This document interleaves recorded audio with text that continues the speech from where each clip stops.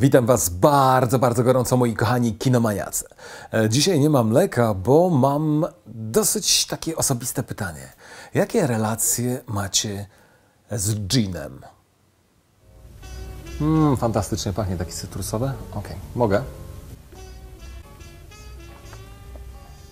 Wow!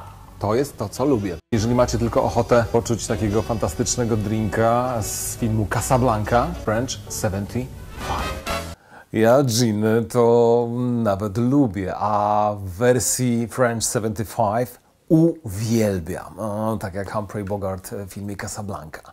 Mm, I powiem wam, że jak się napiję tego ginu, to lubię opowiadać przeróżne historie. Ale dzisiaj e, historię będzie opowiadać e, no, prawdziwy jak prawdziwy, no, gin. Ale też z flaszki. Naszego dżina przez przypadek i drgnienie serca w jakimś sklepiku w Stambule wywołuje pewna pani naukowiec. Specjalistka od narratologii, czyli analizy mitów, legend i opowieści.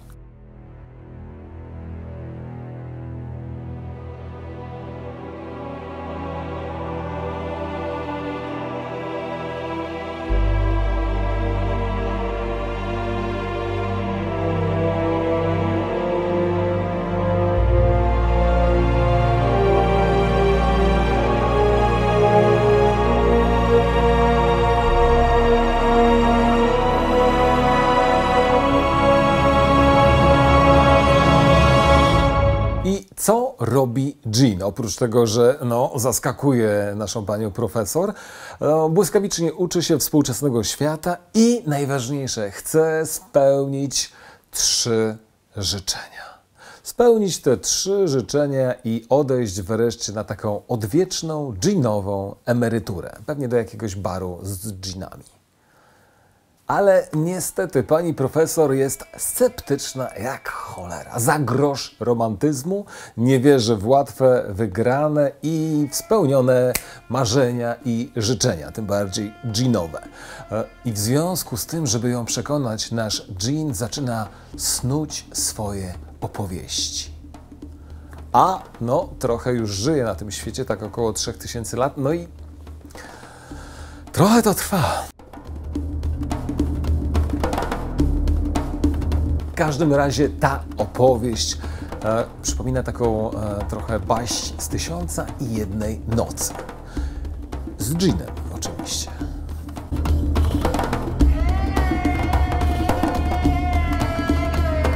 Reżyserem tego filmu jest George Miller, który pewnie już na zawsze będzie nam się kojarzyć e, z opowieściami o pewnym szalonym Maxie, a więc Mad Max.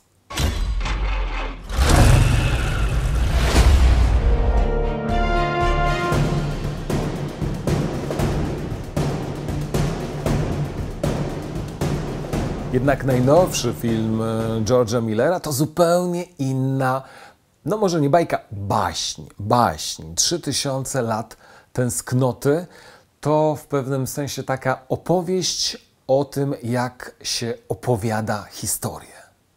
A więc zupełnie inna bajka albo baśń e, niż to, co najbardziej nam się kojarzy, czyli wysokooktanowa, e, ostra jazda i przemoc w stylu Mad Maxa.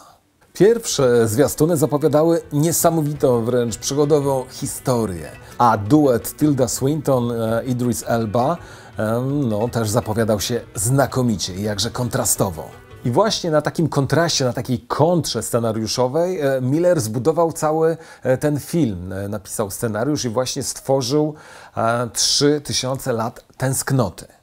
As Dr. Beanie has encouraged us to understand, stories were once the only way to make our bewildering existence coherent. That's exactly right. We gave name to the unknown forces behind all wonder and catastrophe by telling each other Ona sceptyczna, poukładana i racjonalna aż do bólu, on pełny emocji i porywów serca, a oboje cierpią z powodu e, swoich właśnie charakterów i wielkiej samotności. Powiem Wam, że jak dla mnie przynajmniej najciekawszą częścią e, tego filmu są przygody i miłosne zawirowania naszego Gina, jego kolejne zawiedzione nadzieje i kolejne niespełnione życzenia. Ale tych Ginowych opowieści opowiadać i streszczać Wam nie będę. Na pewno są one ciekawie pokazane wizualnie, w końcu Miller to spec od obrazu. Ale to, co prezentowało się świetnie w zwiastunach, niestety nie do końca sprawdziło się, według mnie przynajmniej, w kinie. Bo wychodząc z kina zadałem sobie pytanie, ale o co chodzi? O czym jest ta bajka, ta baśń? Na pewno nie pomaga brak takiego napięcia i chemii między głównymi bohaterami. No i Idris Elba jakby zadziwiony, co robi w tym filmie z takimi e, uszkami a la Hobbit i w hotelowym szlafroku.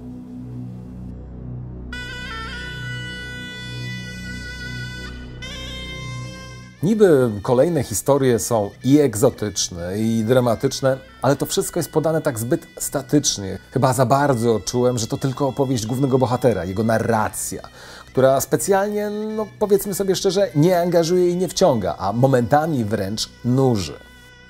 Czułem za duży dystans i za mało emocji. I to ewidentny problem tej fabuły i scenariusza, mimo e, naprawdę znakomitej, świetnej roli Tildy, którą uwielbiam Swinton.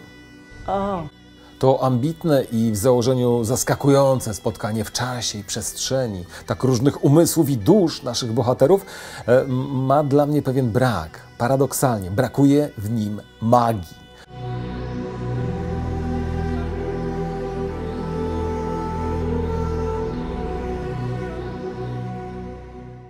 Pomysł na opowieść o samotności i poszukiwaniu miłości ma ogromny potencjał w historii narracji od zawsze i także w historii kina. Szanuję oryginalny koncept reżysera, doceniam wizualną stronę filmu, niesamowite pomysły, jak ten z gargantuicznym księciem uwięzionym w osmańskim haremie.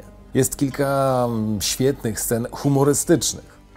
Hello. Hello ale wszystkie te mm, opowieści, mam wrażenie, jakby były takie trochę skrótowe i zbyt powierzchowne. A sam film, czyli opowieść o narracji, e, opowieść o opowiadaniu historii, e, no zaskakujące, ale no, nie ma jakiejś jednej głównej e, prowadzącej fabuły.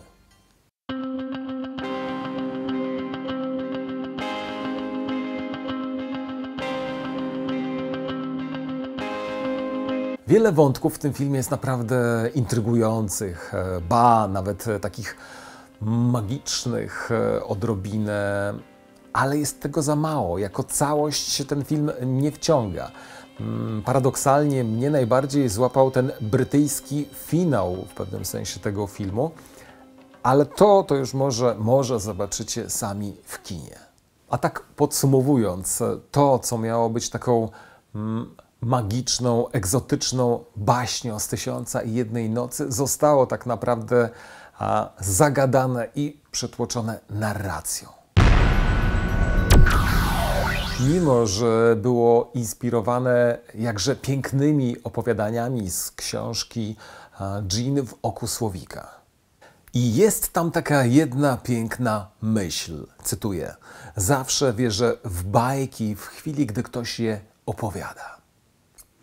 No właśnie, a ja chyba w najnowszą bajkę George'a Millera tak do końca nie uwierzyłem. Na 10 w skali kinomaniaka film 3000 lat tęsknoty um, daje temu filmowi takie 6 punktów. Szkoda, bo liczyłem naprawdę na dużo więcej. I have a wish. I to tyle na dzisiaj w Kinomaniaku. Pozdrawiam Was bardzo, bardzo gorąco i do zobaczenia.